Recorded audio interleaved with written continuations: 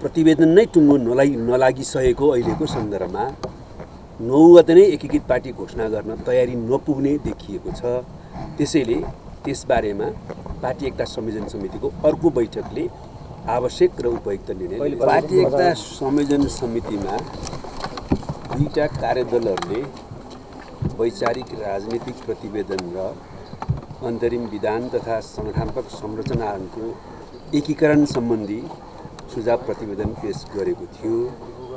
त्यो प्रस्तावहरूमाथि प्रतिवेदनमाथि छलफल।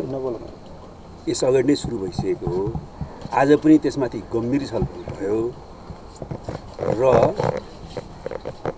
त्यो प्रस्तावहरूलाई आवश्यकता भए अन्तिम रूपमा परिमार्जन गरेर पार्टी एकता संयोजन समितिमा पेस गर्ने जिम्मेवारी दुई पार्टीका अध्यक्षहरूलाई आज दिइएको छ। छिट्टै उहाँहरूले दुवै प्रतिवेदनहरूलाई पार्टी एकता संयोजन समितिमा निर्णयार्थ अन्तिम रूप दिएर प्रस्तुत गर्नुहुनेछ र त्यसपछि अरू प्रक्रिया अगाडि बढ्नेछ।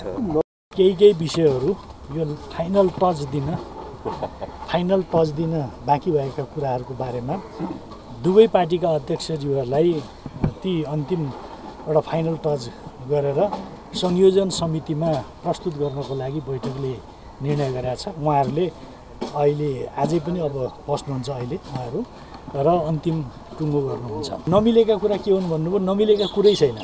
खालि म आफ्नो शब्द प्रयोग गर्छु फाइनल टच दिन बाँकी छ।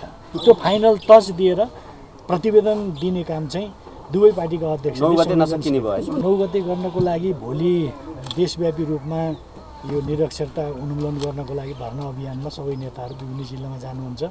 अब अहिले टुङ्गो भइसक्यो भने त्यो नौ गते गर्दाखेरि त त्यो फाइनल टच गर्ने कुराहरू बाँकी छन्। पहिलेको नौ गतेको बारेमा पनि कुरा के थियो भन्दा दुवै कार्यदलको प्रतिवेदन प्रस्तुत गरिरहँदा कार्यदलको तर्फबाट के भनिएको थियो भने नौ गते पार्टी एकता गर्नको लागि उपयुक्त हुन्छ मिति भन्ने खालको कुरो थियो।